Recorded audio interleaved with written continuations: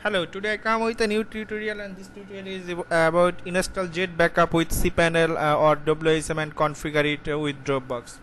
It's quite easy. So first prepare your server. I mean you have to have your uh, root login uh, and uh, make sure that uh, it is enabled. So you see here is the host name and here is the username is root. you have to put it root and there's the password. Then you have to log in uh, with your server you see I have, I have already logged in. So if your uh, server uh, is not uh, root enabled then you have to make sure this command I mean sudo su uh, then uh, a space then to minus sign. Then um, you can do another thing after root login then you can enable nano etc ss and ss to config. From config you have to permit root login. You, you see if you I mean if you edit this file I mean configuration file then you will see something like permit login. And uh, yes. This is this, this this one the option. Permit root login yes. So then log out and log in with root again from your uh, I mean uh, this one. I mean uh, here I am using Bitvise as a client. You can use either um, Bitvise or use Putty so now logged into your uh, WHM and uh, write on uh, search box cluster. And if you write it you will see there is some options. One is configuration cluster then DNS cluster and remote access key. So first you have to click on remote access key. Then you have to remote access key and uh, you have to create a key from here. I mean generate new key.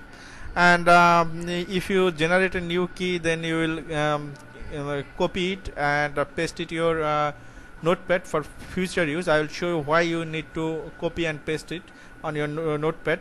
Then uh, DNS cluster will remain same. So you have you have this option next. DNS cluster it will be remain same. So don't you don't have to ch change anything. Then uh, you, you create configuration cluster and save so how can you click configuration cluster? So here is the configuration cluster what you have to put your server IP I mean the IP is provided by your hosting company. You have to put it here and remember that your user will be root. And remote access key I tell you that you have to generate a new key here. So you just uh, uh, copy and uh, paste it to your notepad already. So you just paste it here. I mean this section remote access key then you are ready and uh, in start installing Jet backup. So as you are already logged in your SS as root run this command.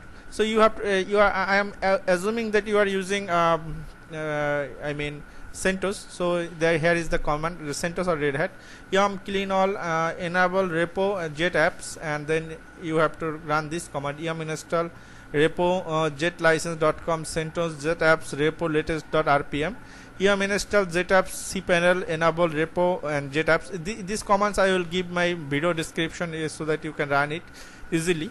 And uh, just copy and copy from there and just uh, paste it in your putty or uh, uh, Bitvise terminal. Uh, that's all so after clean install you will see uh, the jet backup options on your uh, I mean jet apps and jet backup options on your WHM you see already I am in here and I am watching that.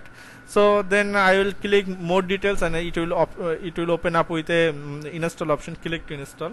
Then after install you see a option like uh, your domains names and uh, Dix users and some uh, info like the um, info will be info skin will be here uh, from list um, accounts. Here is some other accounts here I mean uh, options here. I mean list orphan backups backup restoration backup engine. So next part is we'll configure it with Dropbox. So with the backup destination if you see that on jet backup section there is a option called uh, backup destination. So we'll click add new destination. And here is the full backup Dropbox and uh, engine will be backup manager and we'll configure it. So how uh, we configure it with Dropbox and um, so first destination name will be type of Dropbox choose the backup engine will be backup manager and uh, uh, the compress will be tar.gz and app, app key and secret key. So how can you get app key and secret key from dropbox? So first you have to configure it uh, in dropbox. So you have to go developers uh, dropbox.com slash developers and second click create your app. Then um, yeah, then uh, configure like this. I mean choose an api dropbox api and uh, choose the type of access unit app folder. Uh, you can choose full Dropbox if you need and uh, name of the app your, your app name. Like you can write it here backup so you just uh, then you will get a uh, after this you will get a key app key and secret key like here. You just copy and paste it uh, to here. And uh, then you will click save. And uh, your full backup is ready. So mm, and uh, create cpanel and then you, you will see like this your panel is created. Then you just create a job backup and weekly backup. You just make sure weekly backup and just run it according to it. So now uh, what? Just check your apps folder in dropbox and you will see get your backups there. I mean here it will be the url here. So you have to log in dropbox then home then apps then folder name. The folder name you give in on app section i mean here. So mm, and uh, at last uh, you will get a host name. I mean uh, the ip of your hosting across you can may uh, I, uh, keep more than one host to backup on your dropbox. Then you will get accounts like this and inside it uh, you will get your i mean backup files and all done and now take it a cup of tea and please don't forget to subscribe me I am here to solve your hosting issue. If you need my, my help personally, then you can contact with me and my Skype address is ashik685. Thank you for watching. Take care. Bye bye.